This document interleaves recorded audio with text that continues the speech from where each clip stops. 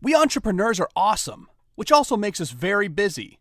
We're the CEO, engineer, leader, coach, HR,